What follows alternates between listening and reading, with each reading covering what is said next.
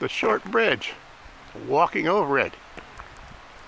Another one of the covered bridges in Oregon. Built in 1945.